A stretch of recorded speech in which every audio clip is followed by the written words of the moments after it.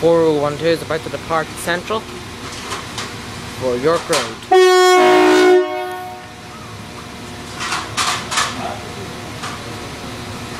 That was a good one.